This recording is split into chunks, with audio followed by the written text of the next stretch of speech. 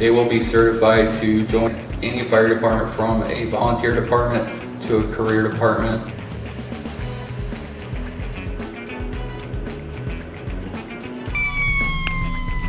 It's open to the whole county. We run up and down it with weight. When we get to the top, we'll pull a hose.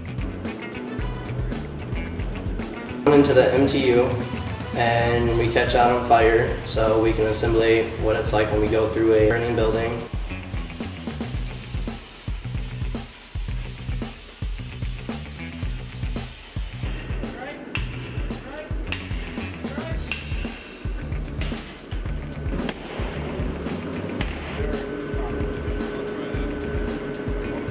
Hard, rigorous work. And we'll hit the Keiser sled, which is a sled that uh, has weights in it. We hit the car fire outside and pulled up, pulled the hose out, and put out the car fire like you normally would.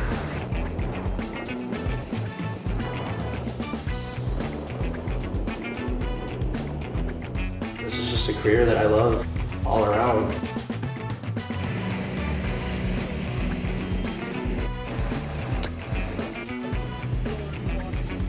They treat us like we're family.